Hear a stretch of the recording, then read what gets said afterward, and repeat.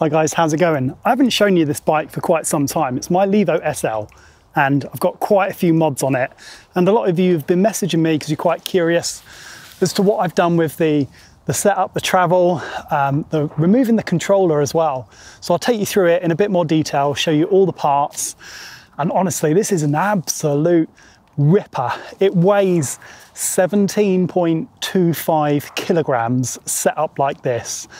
And I can actually get it to about 16 and a half by taking out the main battery and just running on the extender, which is pretty incredible, 16 and a half kilos for a 160mm travel bike. So I'll show you in a bit more detail around the bike and uh, show you all the parts and all the bits that I've put on it.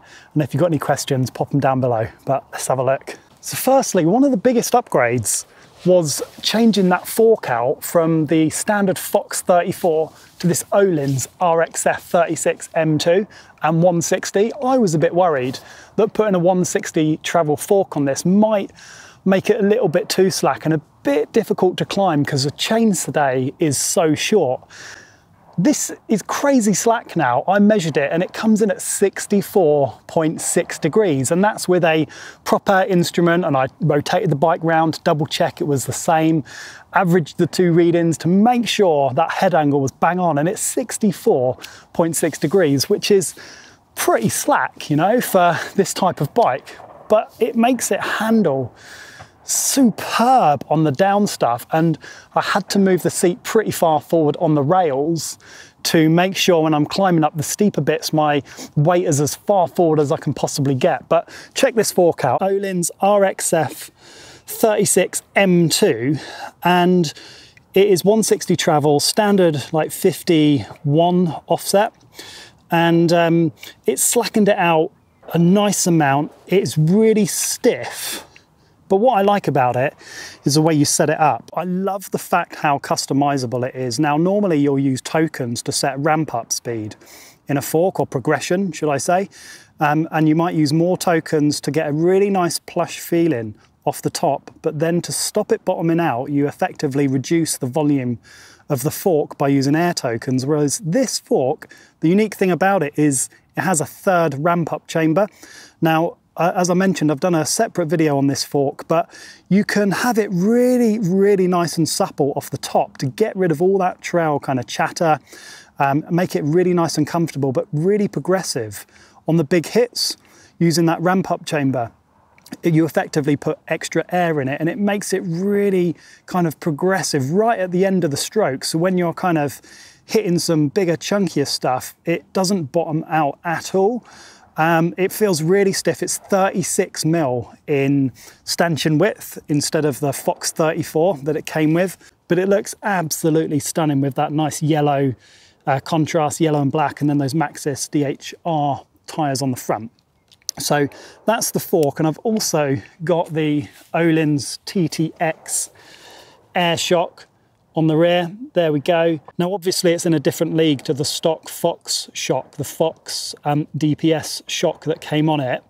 Uh, and it's quite a bit more expensive, but the biggest difference I've noticed is in the mid-stroke. Now, it is super supple and super sensitive. And to be totally fair, I've not had it on long, so I've not ridden anything super gnarly just yet. Um, but it's got, you know, little tiny little piggyback reservoir on it as well. And um, the classic kind of Öhlins uh, design and valving from their TTX series of shocks. So no doubt this is going to be an outstanding performer. But the biggest thing just from riding my regular kind of trails around here uh, is that that small bump sensitivity and that mid-stroke sensitivity. It feels sublime. And obviously it's got decent amount of adjustment, high speed compression, low speed compression, and rebound adjustment on there as well. Um, interestingly, point to note, just mounts the other way around. So the air can sits at the bottom and then the um, adjusters sit at the top. Doesn't really make much difference, but I had to double check I was putting it on the right way when I installed it. Super easy to install a rear shock. You literally just unbolt top bolt and then the bottom bolt and then uh, this one up here this one down here, and then you've got a shock just slots straight in. It's, it couldn't be more straightforward. Looking super sweet. Nice blue SKF wiper seals all the suspension companies are making a big deal that they use SKF wiper seals. Um, so must be good. Next up, the DT Swiss HXC 1200 rims. These are carbon wheels, carbon rims, and they are built for big hits and big kind of enduro style riding. And they weigh about 1.7 kilos for the wheel set. So it's not the super, super light style of carbon rims that you can get, but they are proper burly. And last week I had the biggest stack I've had in a long time. Not on this bike, but another bike that had these exact same rims. I cased a jump massively and I pretty much knocked myself out and I lost all my memory for the day. It was really scary. And um, I was actually quite worried about the rims, but there's not a single mark on them. So HXC 1200 rims from DT Swiss. Now, I am not going to lie, I'm super lucky that I've been able to get these kind of components to test from the company. So um, it's not lost on me how expensive this stuff is. It is just super good, and that's why I wanted to share with you um, some of the changes that I've made. In terms of tyres, I'm using the DHR2 on the front in 2.4 in MaxxTerra, weighs about one kilo, and for my riding, which is more trail stuff in the south of the UK, Surrey Hills kind of stuff, they seem absolutely fine. They are not the stiffest in terms of the sidewall. Um, but you know, this bike's pretty light. I'm not riding massively rocky terrain.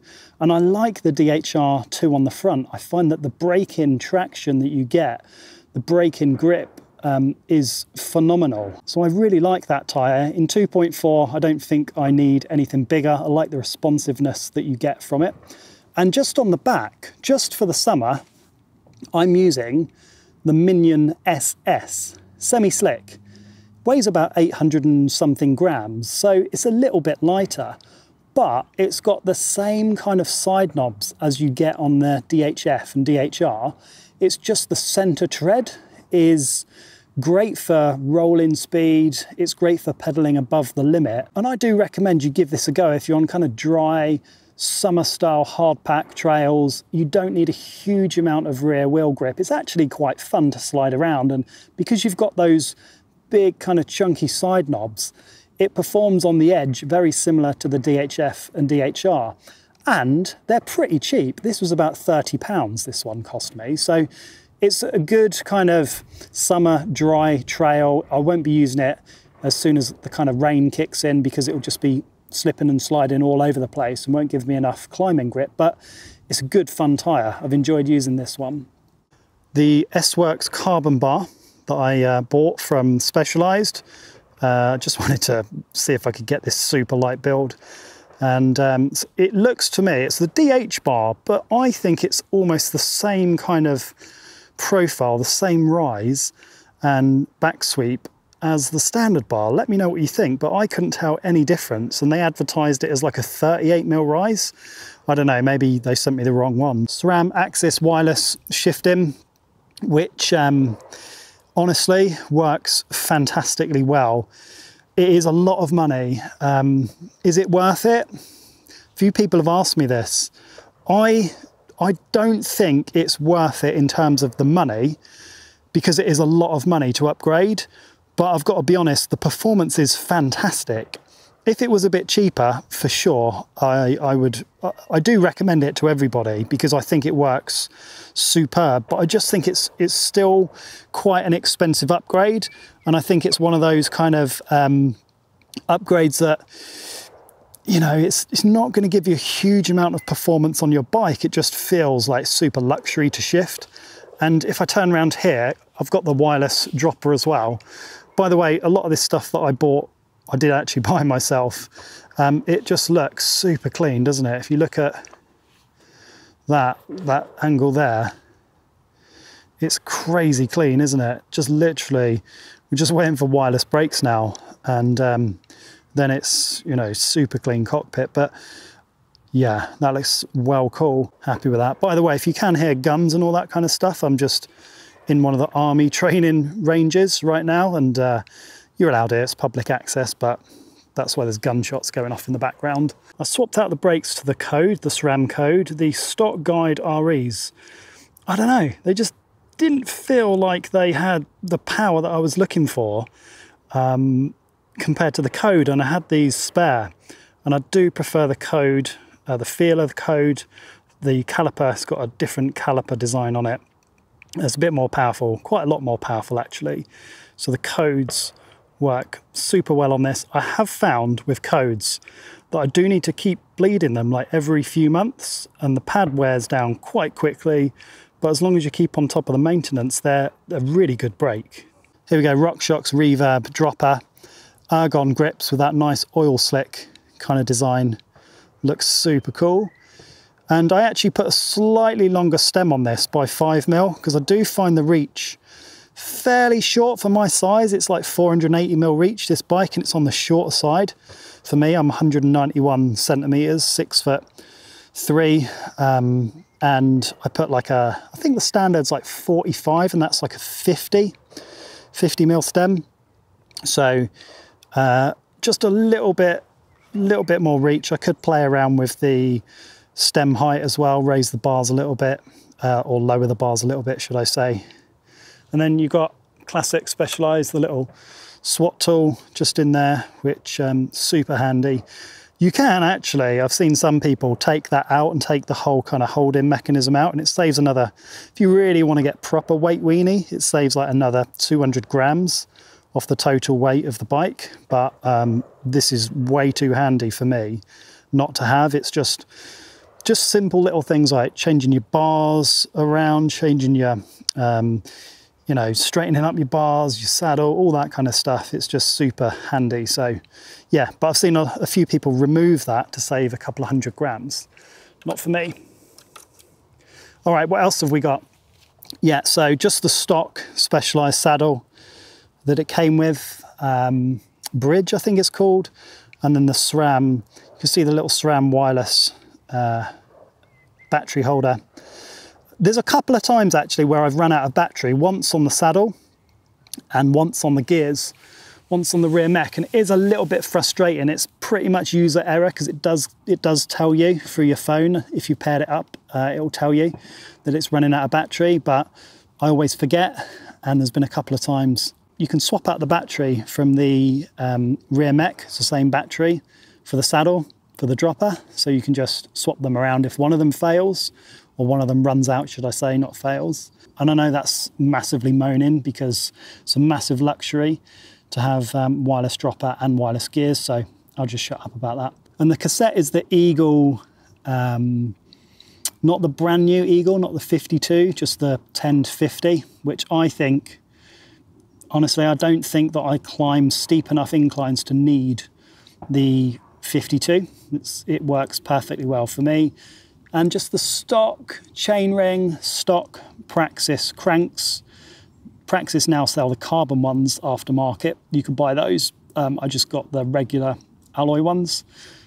And the classic Crank Brothers mallet pedals, the mallet E pedals. So if I just move around here a little bit, you see mine are the long spindle version. I just prefer to be a little bit further away from the cranks. Um, I don't know what the difference is, maybe five mil difference in terms of width from the end of the crank to the pedal, uh, the spindle length, but I like these LS versions. They work super well. Does look so slick, doesn't it? Super slick. And I love the black carbon, the yellow of the Maxxis tires and the Öhlins fork. I just think it sets it off. Really nice. It's a brilliant bike. Okay, couple of things. The motor is definitely noisier on this than the standard Levo. The Levo, standard Levo is belt driven. This has got uh, smaller plastic gears in. It's got a higher pitch whine. It's not massively distracting, but it is there and I can notice it. It is definitely noisier. Um, oh, I forgot to mention, I took off the mode controller. So normally when you get a bike, uh, Specialized turbo bike, you've got a mode controller on here. Um, I took it off because I don't actually find you need it. You can fine tune mission control to give you up to 100% assistance depending on the amount of pedal power you're putting through, depending on the pressure you're putting through the pedals. So it's almost like a full auto mode. So I've got it on 35% um, uh, support and then 100%, I think it's like max motor power. So effectively, um, when I'm just cruising along, it's giving me 35% support, but when I need it and I'm putting pressure down enough on the pedals, it's pumping out up to 100% support. So it's giving me the full 240 watts from the motor. Uh, that works really well. And in situations that I've really needed just 100%, 100%, you can just reach down on here and you can just press this button on here um, to cycle through the power. I'll show you. There we go. Just cycle through there. So um, eco, trail, turbo, hold it down and you can turn it off.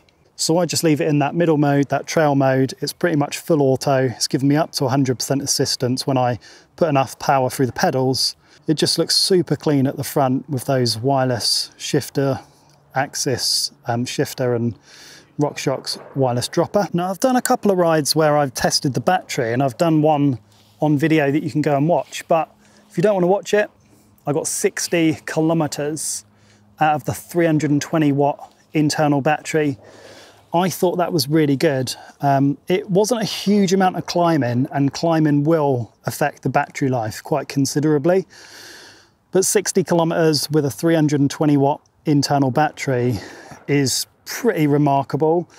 Uh, and I've got the range extender as well. So when I go out and ride with other bikes that have got like full fat, other bikers that have got full fat e-bikes, I often just leave it in turbo because turbo is not quite as much as trail on a full fat, but I find that if I put in a little bit more effort, I can definitely keep up in the kind of Surrey Hills, south of the UK area.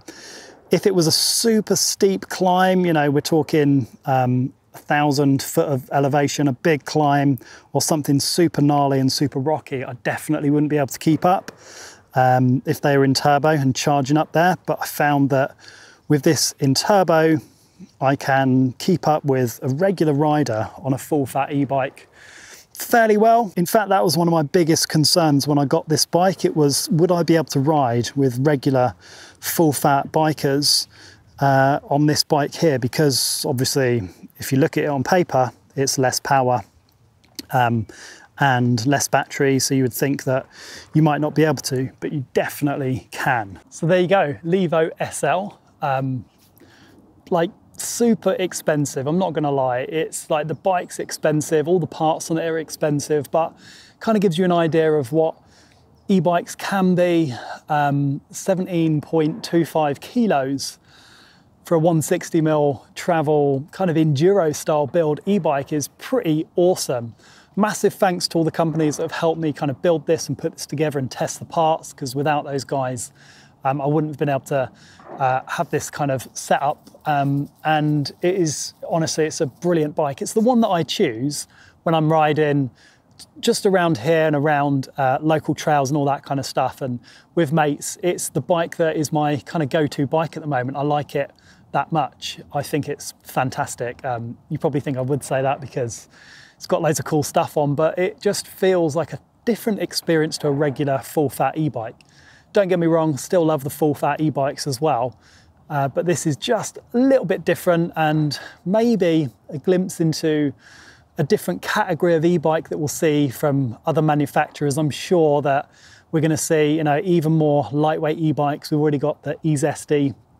This one, no doubt, we'll see more coming out really soon um, to kind of complement or have another one in the range for the brands because, you know, the full fat market it's pretty saturated now, isn't it? A couple of years ago, there was only, I don't know, five or six really, and now it's like every brand, not every brand, but most brands have got a full fat e-bike. Um, and these lightweight ones are still kind of in their infancy. So we'll see, we'll see how it goes.